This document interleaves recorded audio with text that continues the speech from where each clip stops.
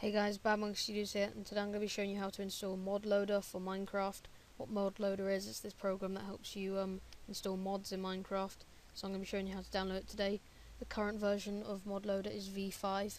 If you're watching this video a bit later on than the date put out, um, it might be V6, V7, but um, it's all the same installation, so you can just watch this video and it will be universal, so you can install it no matter what version it is.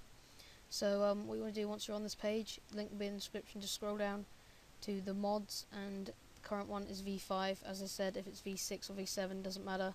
It's going to be the same installation so just click the latest one V5 for me for me. Um, once it's downloaded you want to just open it up and you get a WinRAR file. If you don't have WinRAR guys I'll put a link in the description. You can download WinRAR um, yeah it's just just download that and it will open up like this. Then you want to go down to the start menu and um, if you're on XP, it should say run on somewhere on the side here, but if you're not, just type in run. If you're on Windows Vista or 7, you can just type in run on there. Go on there and type in um, percent app data percent and then hit enter. It's going to open up this, go to your .minecraft file and go into your bin folder and there should be a minecraft.jar file here. Right click, open with WinRAR and then you can just minimize that. Bring that over here.